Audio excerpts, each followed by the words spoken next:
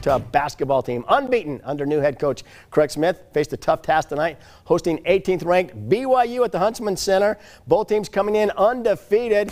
The Cougars have the ball in this one. They go inside to Gavin Baxter, and he throws this down with two hands.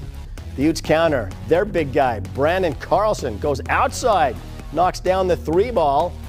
Then it's Lazar Stefanovic, the drive, and he hits the tough shot. Then back the other way we go. It's the lob to Caleb Lohner. He gets it to fall as he falls down.